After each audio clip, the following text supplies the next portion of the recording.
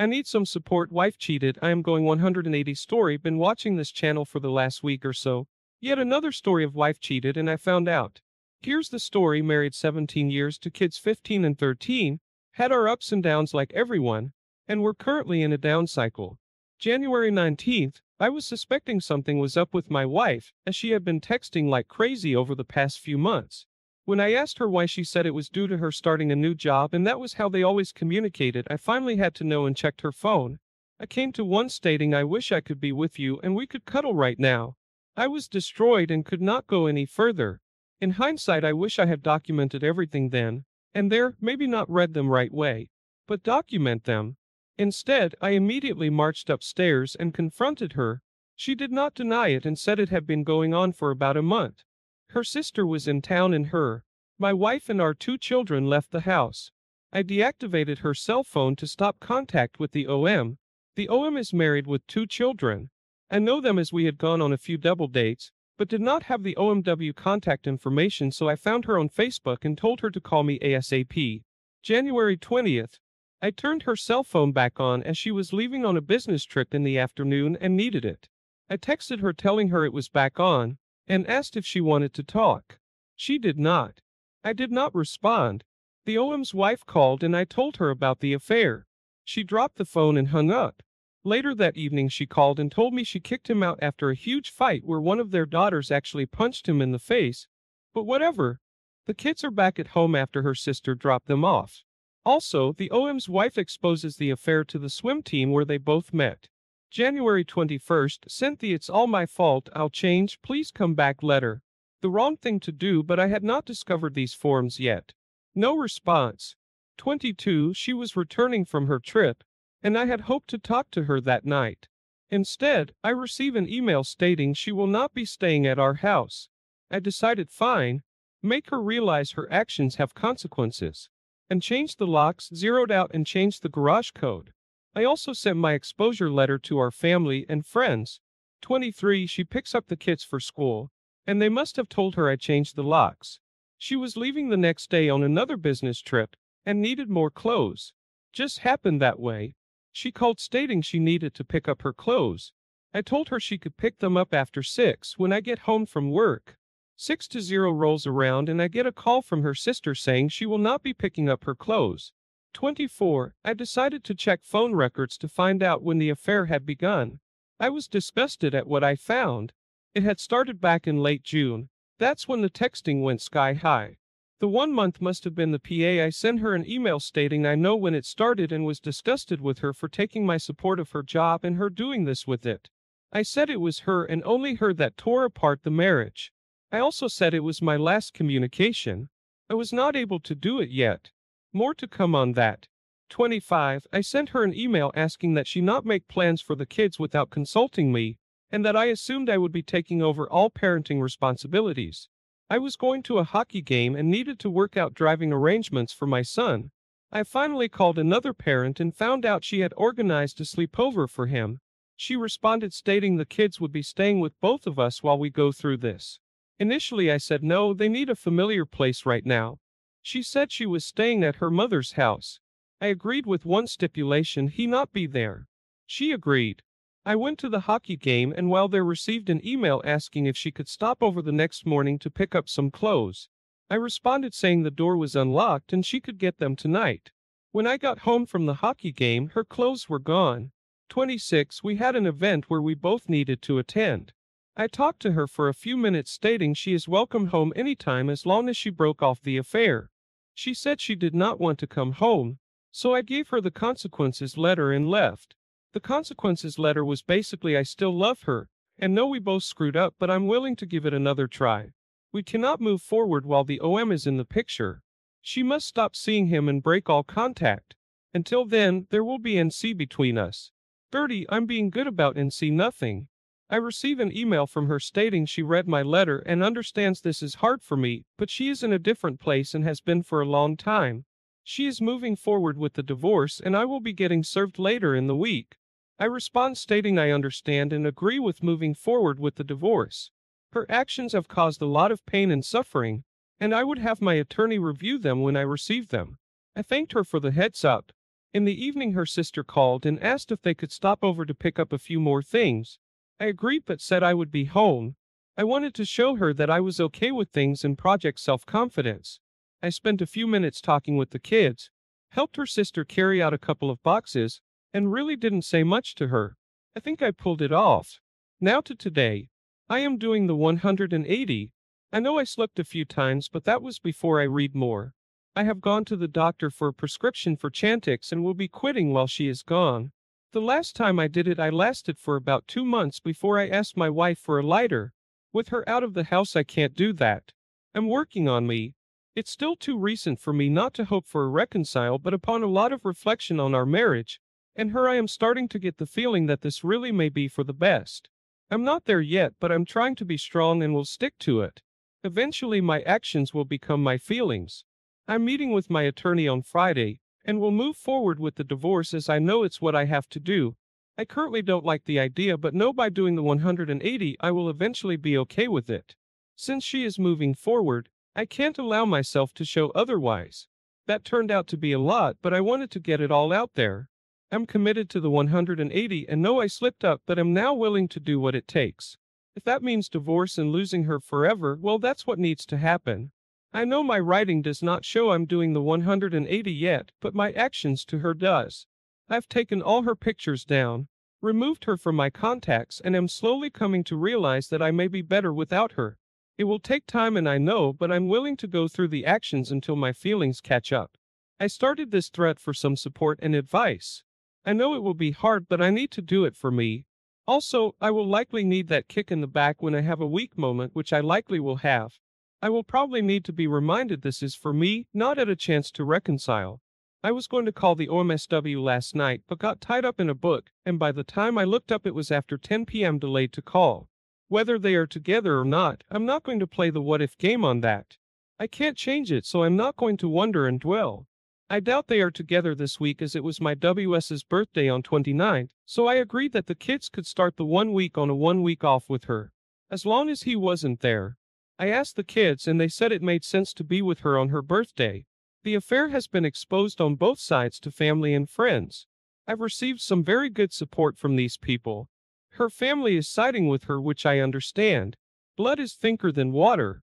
She spoke with the kids the night of D Day and I the next day. Not sordid. The way my son put it, she went on a date with another man. I did call it an affair and told them that she really messed up. I think that's enough, they don't need to know the details. The OMW contacted me the next morning after I sent her a private message on Facebook. It was hard. My exact words were there is no good way to say it, so I'm just going to say it. Your husband and my wife are having an affair. I heard, oh my god. She dropped the phone and then hung up. My WW had asked I don't tell the OMW via text as it does not concern her. This is between the two of us. I told her that had it been an EA, I may have considered it. But since it was recently physical, the OMW had to know. My WW has completely detached. Whether it's due to the fog or not, I don't know. Currently, I care, but hopefully, with time, I won't. That's why I'm here. Regarding me, I stared the stop smoking program and teeth whitening. I've also distracted myself with house chores to keep my mind off things. Patched a ceiling that had water damage cleaned out a couple of junk closets, painted one of our storage closets. I'm not overweight 6 feet, 175 pounds, but I'm not toned. Lifting is a good idea. I live in Minnesota and was lucky that the day after it happened we had 3 inches of snow. Rather than break out the snowblower, I hand shoveled the entire driveway. I'd say it's 150 feet long and 10 feet wide plus the garage pad. Felt good. I think I'm doing the right things. We'll just need support and guidance as the days go by. R is off the table, she knows. When her sister texted last night to make sure I wasn't there when they came to pick up more stuff, I responded, knowing she would show my WW. I'll be here but will not get in your way. I decided there is nothing I can do or say to change her mind, so I'm moving on. Comments. Resist any temptation to indicate to her you want her back. Treat her with complete indifference now. To do otherwise will only encourage her to keep up the affair. She can't feel the loss if she hasn't lost you. Right now, immediately start working out. Take some time and get your head on straight. Start making plans and taking actions now for your future life without her. By doing so now, once the heartbreak over all this is largely past you, you'll be hitting the ground running when you decide to start dating again. Do not tell her where you're at, who you're with, or what you're up to. Go completely black on her except where discussions of the kids are concerned. File for divorce and primary custody. Focus on you and your kids for now. Do all of this, and my bet is she'll come crawling back in six months or less. My bet is also that when that happens, you won't be so receptive to reconciliation anymore. OP updates. When I had gone back to look at when the EA started, I pinpointed it to when my WS and I were both out of town. She an MD for training for her new job she started and I NCO training for a new business I was about to open. A few months prior to that she had sold her share of a business she owned and had just landed this great new job. I was very proud of her and we spent a lot of time talking about our new adventures. During our brief text the day after D-Day she even mentioned this was a wonderful time.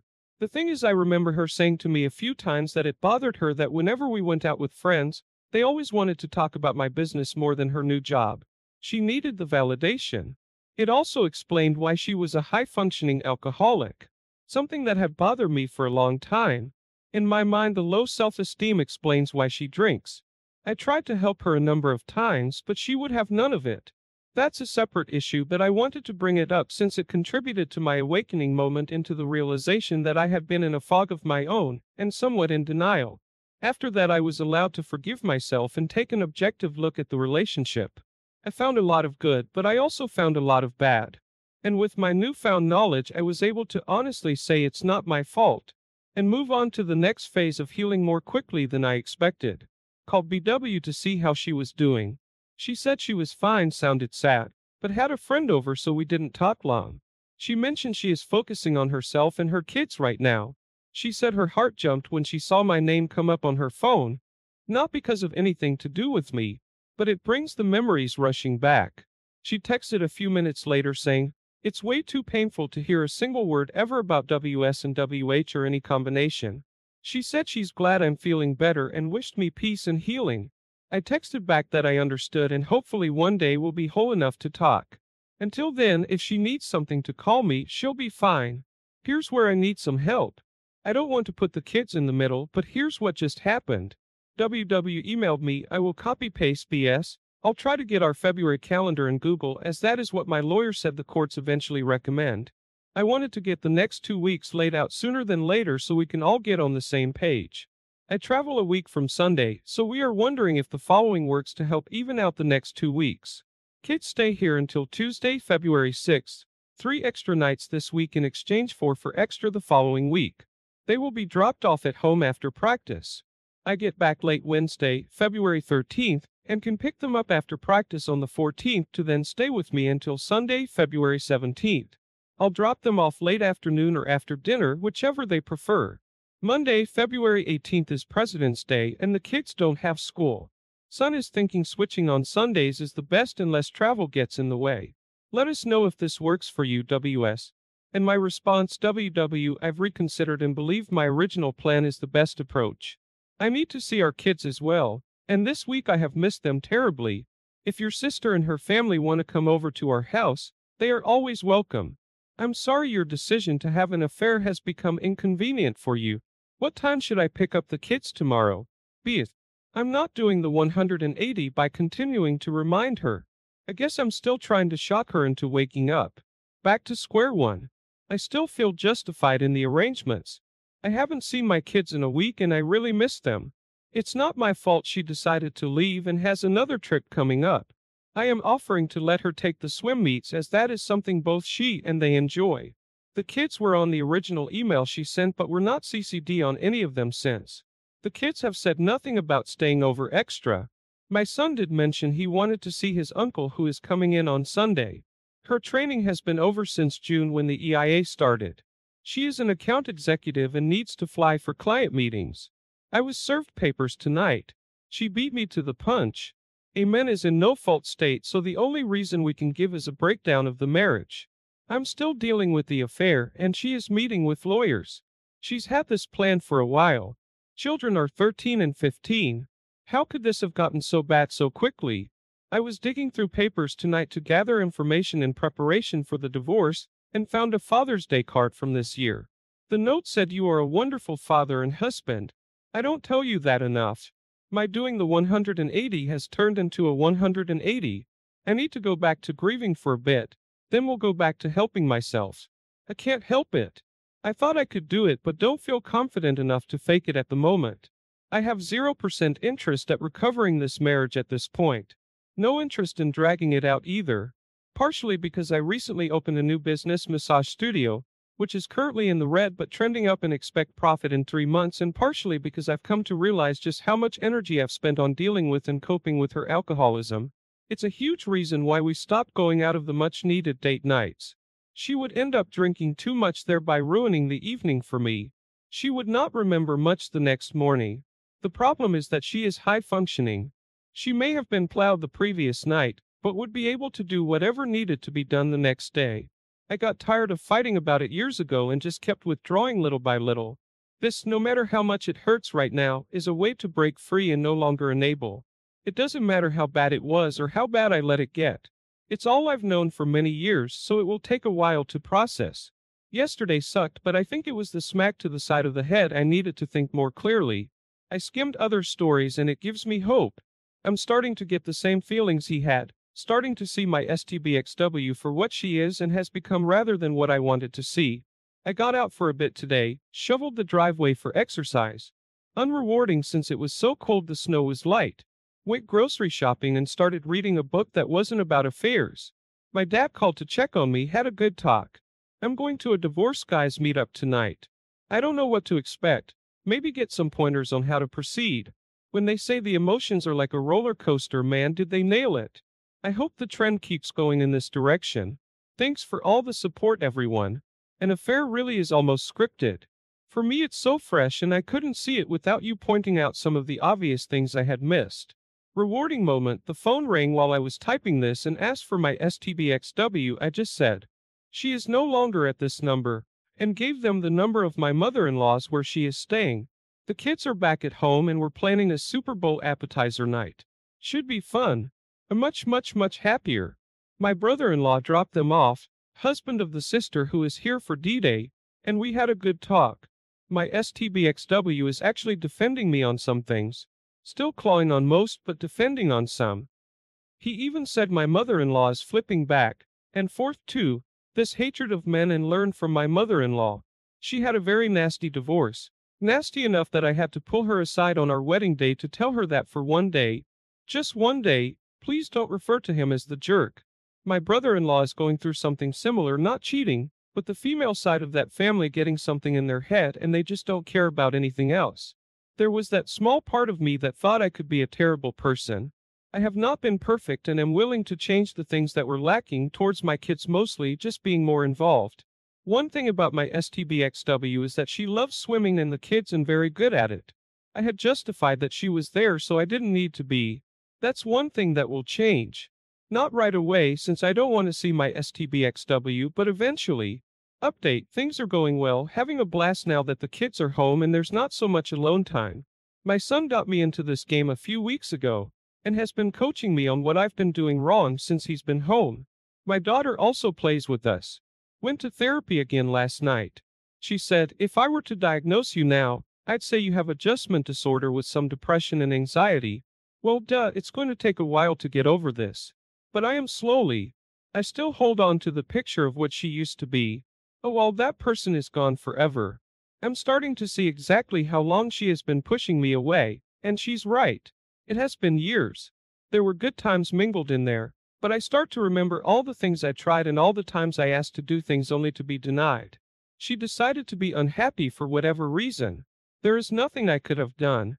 Nothing. I haven't contacted my STBXW since Saturday. She has sent two emails, one for the kids' swim schedule, and one for some financial information. I didn't respond to either. Day by day is all I can do. Eating and sleeping are no longer an issue, and having the kids home is a tremendous help. Plus, we've had snow every day, so I get to shovel the driveway for some exercise. Still continuing the stop smoking program. And notice me urges becoming less and less. Couple things that are bugging me. One, when my brother in law came over, He brought the trash from where my STBXW is staying. She brings it over again, I'm bringing it back. Vindictive or not. Two, we have two dogs.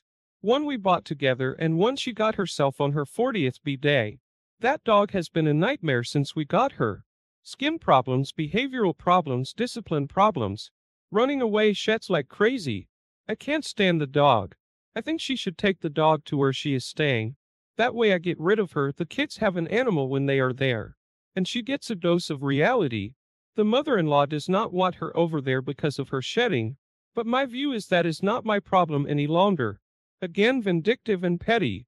For now, I'm keeping her since the kids mentioned they want to keep her. I told them of course we will keep her but, in my mind I'm thinking why do I have to care for this POS dog because of my STBXW's choices? Thoughts? Anyway, I'm doing pretty dang good, feeling better day by day. I was very proud of myself today. My STBXW is a very go go go no matter if it's the right thing type of person. Those following the thread know I was served on Friday, Less than two weeks after D-Day. On Sunday, the kids started to stay with me. Sunday evening and onward, she started to send me a number of emails asking for financial information for the divorce proceedings. One of which was from another attorney, not the one who wrote the petition. Not sure what to think about that. I politely pointed out that this was something that she should fill out on her own as I have one from my attorney that is similar. She asked about property in previous tax returns, and I said that she should have access to all the information, but at this time I would be unable to help since I had more pressing matters to attend to. This is going to get ugly. Damn it. Where is the woman I married? I just want to bonk her with the reality stick. Comments. Going to get ugly? You mean it's not ugly already? After she betrayed you, asking her attorney to put a line in the divorce petition stating that you locked her out of the house, then telling you she's not going to take it out. Whether you realize it or not, she's been building a case against you from the minute she left. This has been well thought out by her. She had this planned. She's having to execute her plan sooner than she wanted to because you caught her. But she was and is planning to screw you over big time. She is mining the kids for info and keeping a log of all the dangerous and unhealthy things you've done. Dad let us have ice cream feeds them junk food. She is on high alert for anything to use against you. Be careful. She is not coming back. You're doing what I did, so a few tips. You are still engaging with her, don't? You are trying to solve her problems still. You have been doing it for 17 years. It will take time to learn not to do that, don't? Type your emails out. Then read them for content. Remove anything that is remotely personal. Only send when clean. Do not discuss her at all with the kids. If you must mention her, call her your mother, use emotionally distancing language. It will help your heart catch up. Hope he responds. I agree. I've started to come out of my very own fog over the past few days, and see now what I've been ignoring, rationalizing over the past few years. I couldn't get myself to believe some of the things she would say and do. That couldn't be my wife. Truly is not. While I do miss my wife, this person is not her. I see that now. I'm on high guard as I know I cannot believe one thing she says. The workout felt great. I'll definitely keep it up. Things are going better. The workouts have been helping. Been going every other day for about an hour. I bought some protein powder stuff a couple of days ago, and am going to up the workout to daily since the soreness isn't as bad and I feel like I'm ready for daily. I feel better about myself after only a week. Also, five days without touching the lighter. It's a start. I did break and see with my STBXW a few days ago. It was to tell her I wanted her to stay at our house with the kids and take care of the dogs from this Friday to Monday as I am going on a trip. I didn't ask but rather told her, embracing my alpha side, a bit more these days too. She said of course she would. I responded with an enthusiastic awesome thanks and that was it. I spoke to my attorney yesterday, and she is putting in the petition response so moving forward with the divorce as well. Today is going to be a tough day. I brought the kids to school, and my STBXW is picking them up so they are gone. Valentine's Day used to be a great day for us. No matter what was going on in our lives, or marriage, it was always a great day for us.